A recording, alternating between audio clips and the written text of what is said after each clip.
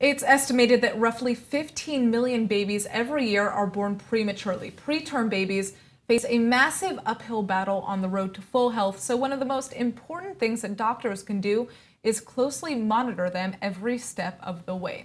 Well, joining me now in the studio is Merav Ofri-Vax, the CEO and co-founder of Blue Fairy Med, to tell us how her company helps to do just that. Thank you so much for joining us. Hi. Now, this is a very interesting topic. Tell us, what is Blue Fairy and what is your product? So uh, Blue Fairy is, uh, tech, is integrates textile and technologically to one uh, textile cover, smart textile cover that monitors the vital signs in premature babies in the hospitals. Interesting. And it's um, it's bringing a more holistic approach to, to take care of babies in the hospital. It can it's shorter the time and allow more uh, progressive and holistic care to those uh, who needs this care. Uh, from the parents to the medical team and eventually of course the baby that's it's a very silent customer and doesn't have doesn't Much, have yeah, the ability right. to call, doesn't really to call have for help. what's happening. Yeah, so that will help. Eventually, that will help to bring a more easy care mm-hmm. without it's uh, it's uh, what Blue Fairy is doing. It um, integrates all the ele- electrodes and wires to avoid okay. the spaghetti situation that you are you can't take the baby uh, and uh, to, take the baby with right, you. Right, because when you see the typical image of a, a, premature baby, you know, is covered with wires and okay, so yeah, continue. so um, and that's allowing a, a more uh, approachable treatment. Uh, which allow eventually a more involvement to the parents in the NICUs, in the intensive care unit, yeah. Uh, beyond shortened shorten the, the treatment time of the medical team, it will bring the parent to be more involved in the care of the baby, which wow. is more very important. Yeah, it's very important. I mean, how did you come up with this idea? Tell us, is there a story behind this? Yeah, so four years ago, I was in Boston. And um, I was uh, very surprisingly uh, took birth of uh, my son Daniel, my youngest son, wow. Uh, in uh, very early in week 30.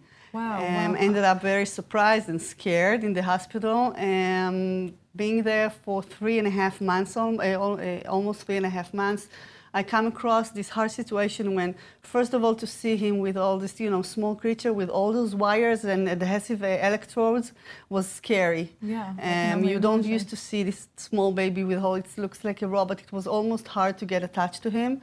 Yeah to touch him. I mean, to just touch to, him, yeah, to hold him. Only, yeah, and eventually, when I remember once I, I got, I, I, took him from his crib and something started beeping, and I needed, from that end, I needed the nurse to help me every time to take care of him. And the notion and that's that so scary for you, the notion that you could hurt your own yeah, child. that I can hurt him, that I don't know, I don't know if things are working, and and you know, to feel that my baby is always tied up to those machines, that I can't take him home. It's a constant reminder to see all those wires around him. It's a constant reminder. Uh, to know that he's in the hospital. Yeah. And I was wondering, I am a product designer in my professional, and I was wondering that what if the, I could just put everything in a one textile wrap that will uh, cover, that would look a little bit more like the, the, the clothes that we're putting at home, you know, right. more design, uh, uh, has more design uh, aspects in it, and uh, will be more... Um, less frightening, Yes, less frightening. And uh, that's why we came with this idea. I have amazing. it uh, with my friend, my, my co-partner is uh, Sharon. She came from the medical team, and together we uh, established Blue Fairy, which is, by the way, it's the it's Pinocchio's fairy, the one that cut the Pinocchio uh, Pinocchio roll. Oh, interesting. So that's why so that's the, the, name, name yeah. From.